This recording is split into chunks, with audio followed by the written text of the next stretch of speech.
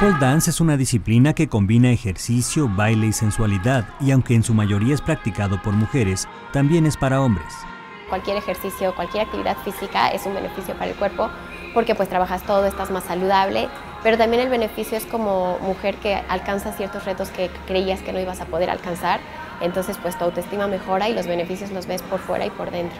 El pole dance tiene su origen en Estados Unidos. Sin embargo, desde hace poco más de dos años llegó a México, donde a pesar de las críticas ha logrado colocarse como una de las actividades físicas más practicadas. Se imaginan que aquí nos quitamos la ropa y sí, finalmente el pole se tiene que hacer con ropa pequeña porque la piel es la que se pega al tubo. Entonces no es la primera clase que vas a llegar y te vamos a pedir shorts y top, pero eventualmente te vas a ir acostumbrando ¿no? a qué es lo que necesitas usar para el ejercicio y finalmente vas aceptando tu cuerpo. No es como que aquí hagamos cuerpos perfectos, sino que te aceptas y cuando tú te aceptas, pues se nota en tu autoestima, en cómo caminas, en cómo vistes y lo proyectas. Entonces es más lo que tú piensas eh, cómo te sientes respecto a ti misma que realmente lo que te está reflejando el espejo. Montes Margali comentó que esta disciplina es una de las nuevas tendencias deportivas que te permiten tener un cuerpo saludable. Haces fuerza, entonces pues obviamente tonificas los músculos, esto se nota, y un cuerpo más tonificado pues es un cuerpo que atractivamente te puede ser, visualmente puede ser más atractivo, ¿no? Pero no es como que vengas aquí a bajar de peso, es muy importante porque aquí no hacemos tanto cardio, aquí fortaleces, y si tú le preguntas a mucha gente que lleva años haciendo esto, pesan más ahorita que cuando empezaron, ¿por qué? Porque ganaron mucho músculo. La especialista enfatizó que el pole dance no es un curso de autoestima.